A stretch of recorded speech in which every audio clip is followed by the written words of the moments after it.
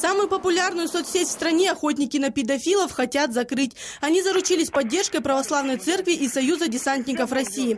Вконтакте они называют пособником преступников и средства распространения детского порно. Абаканские борцы за нравственность, на счету которых пока всего один пойманный на переписке с подростком, настроены не так радикально. Контакт же тут вообще никакого значения. Я не знаю, почему ополчились против контакта, потому что нет.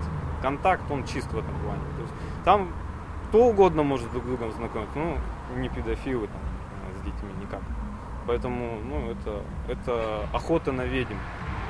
Из-за поднявшейся по всей России шумихи находить преступников все сложнее, признается Дмитрий. Но дело свое он и его помощники бросать не собираются. Ждут помощи активисты и от простых людей. Ведь о том, что мужчина, которого охотники сняли на видео, любит малолетних, знали почти все в его дворе, рассказывает Дмитрий. Но вот сообщить куда надо ни один не подумал. Зато теперь мужчиной заинтересовались следователи. В настоящее время проводится исследование изъятой у мужчины компьютерной техники на предмет наличия компрометирующей информации.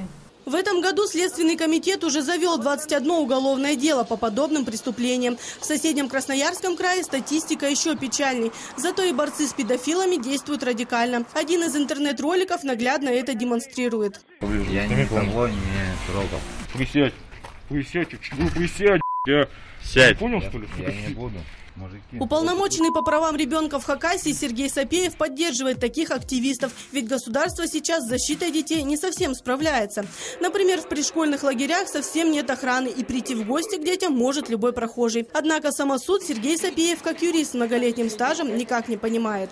Основная масса педофилов это же в принципе и больные люди, да, то есть э, его можно бить до бесконечности, но если у него с головой немножко не в порядке в этом плане, то это мало как повлияет. Поэтому и ввели сейчас меры и кастрации, и другие меры. Схема действий борцов с педофилами одинакова по всей России. Заводят анкету на сайте знакомств от имени подростка, вступают в переписку со взрослыми и ищут среди них любителей не детских контактов с несовершеннолетними. В разговоре несколько раз упоминают свой возраст, чтобы преступник не смог потом отвертеться, и назначают ему встречу, которую фиксируют на видео. Но продолжение в виде реальных уголовных дел – это скорее исключение.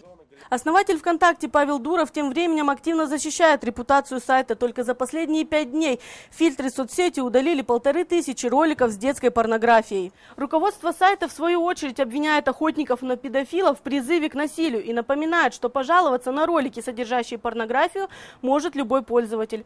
Мария Дудник, Евгений Сульбереков. Новости. Седьмой телеканал.